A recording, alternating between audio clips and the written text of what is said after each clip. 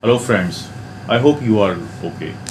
In this video, which is very short one, I'll talk about the blood groups and its association with the uh, coronavirus and what is the percentage of the blood groups in Pakistan in relation with the coronavirus.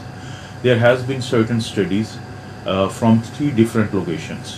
One was from the uh, Chinese city of Wuhan, where they have used 2100 patients and they have studied in three different hospitals and uh, the study was related to the blood group and its relation with the uh, coronavirus infection and its prevalence and severity there was another uh, study which was done in Italy and Spain. They they had done the study in 1983 patients, and they also looked at the association or correlation of the blood groups and the severity and happening of the coronavirus infection.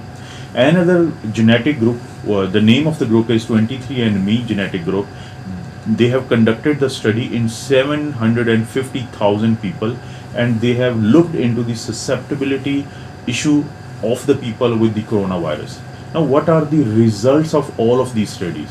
These studies have shown that the all those people who have got the blood group O, they are less vulnerable to develop the coronavirus infection. Not only this, once they develop the coronavirus infection, they have less probability of being into the severity of the condition.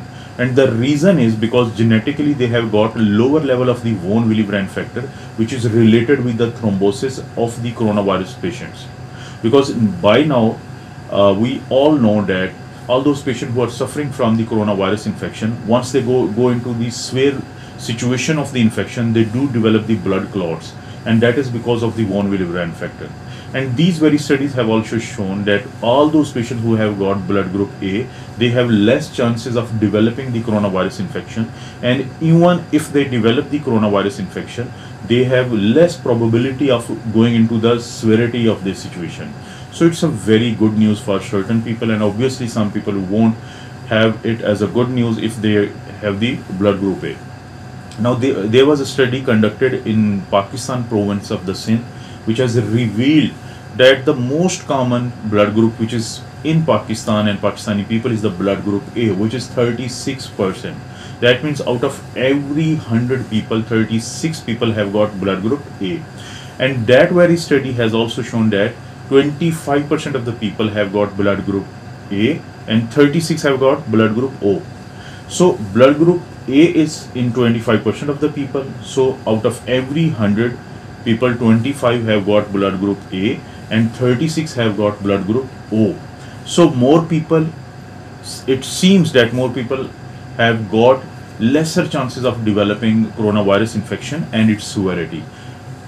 While lesser number of the people who have got blood group A will go on to develop the uh, coronavirus infection and once they develop they can go into the severity of the situation. So I hope it gives you some idea. I'll keep on posting uh, short versions of the clips in English on this channel from here onwards. Thank you so much for watching the video.